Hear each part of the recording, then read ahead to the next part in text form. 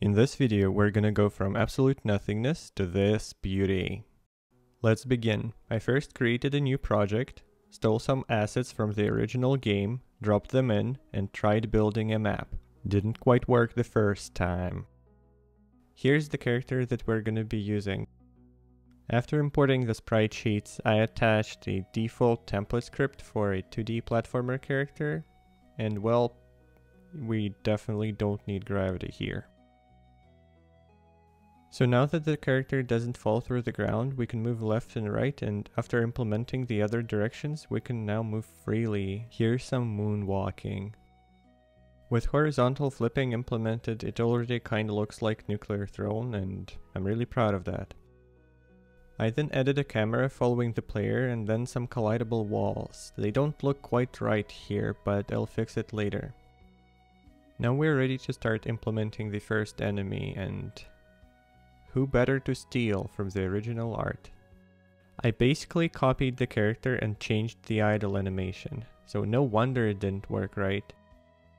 After fixing the rat, I decided it was time to kill it. So let's talk about the character's abilities for a second. In Nuclear Throne you have special active ability for every character and also some passive stats.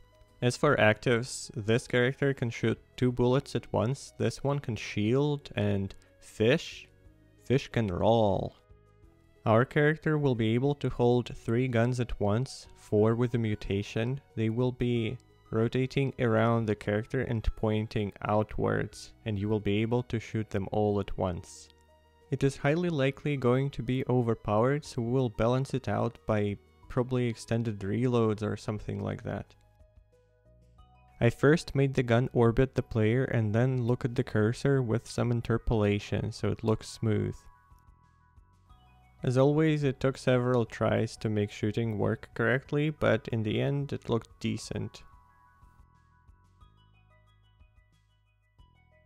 I added an on-hit effect, paralyzed the rat, fixed it and added some flashing, then removed the background finally, and that's the result for the first day of work.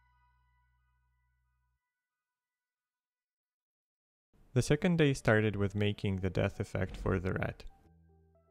I then gave it some health and killed it, made it chase the player, added the running animation and player detection. And then it was the player's turn to die. I drew a very silly sprite and it looks quite ugly and the whole thing looks quite ugly. But that's the result for the second development session. After that I was working in very short sessions, so it's not gonna be mentioned. At some point I was getting cornered by a rat and it was so scary that I killed myself. At this point we can kill rats and they can kill us. Absolutely beautiful. Time to improve the tile set. Thank you, mister. I added more tile variations and made it so that the player can move closer to the wall. I figured out how to do the one-shot particle effects, so you can see the empty shells flying out of the gun, and the goal is for them to bounce a bit on the ground and then stick to it for a minute. I added a health bar and started working on the visuals. First I replaced the gun and the bullet sprites, also added some flash effect on the shot, and you've probably noticed the recoil already. After tuning the visuals, I started working on picking up several guns. They're supposed to rotate around the player and point in opposite directions, but this looks like a very cool ultra mutation and it seems really powerful. Then all I did was move the guns further away from the player and I got this very interesting bug. This is how it was supposed to work. And this is what we get if we increase the distance between the gun and the player.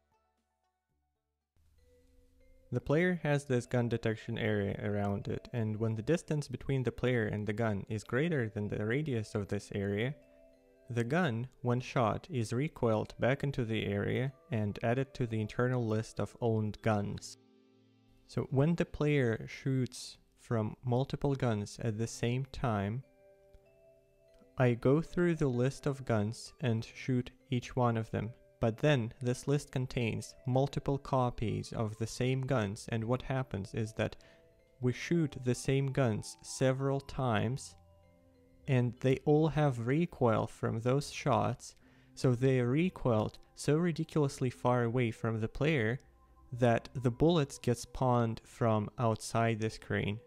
But then the guns return to their desired position almost immediately, so we see nothing happening. Then I wanted to add shadow copies under the guns. I fixed the issue and added a little floating animation. I never explained it, but what you see on the screen is selecting a different gun as the main. Then I found an outline shader on godotshaders.com and used it to make guns selectable when picking. Here's a little demonstration of why having multiple guns is very cool. Here's the last thing that I worked on for this devlog. We pick the guns, we kill all the rats, the portal is spawned, we enter it, and we are moved to a different level. The state of the character is not yet preserved, but this is something that we'll be working on next time. If I've already made any other videos, you'll see them on the screen. Go watch them.